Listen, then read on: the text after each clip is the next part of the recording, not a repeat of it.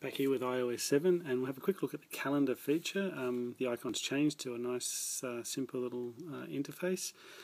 Um, so big pardon, a simple little font and if we click on it it'll take us up to the year view. You can scroll up and down to see different years and um, you can then drill down into what you want. So if you want to look at uh, current months, just down in September, drill straight down to the day and uh, off you go. You can have a look. You can go side by side by just swiping page uh, day to day, and it'll uh, change up above.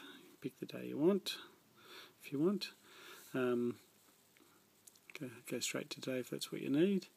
Um, one of the things that's not apparent when you first look at it is where's my list view if you like to see all your appointments in a list, it's like you can't really find a um, an option for it. But they've sort of Apple's hidden it inside the search function. So if you still like your list view and you want to look at it, click on it, and up will come a list of everything. It's basically a search of everything in your calendar, and you can go up and down, and you can you can um, put uh, different search criteria in. So if you can't find your list view, it's actually hidden in here.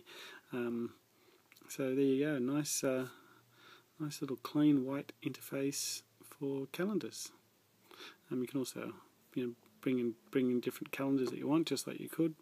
So uh, nothing much changed there. It's really mainly interface and a little bit of bearing of the uh, of the list view. So cheers.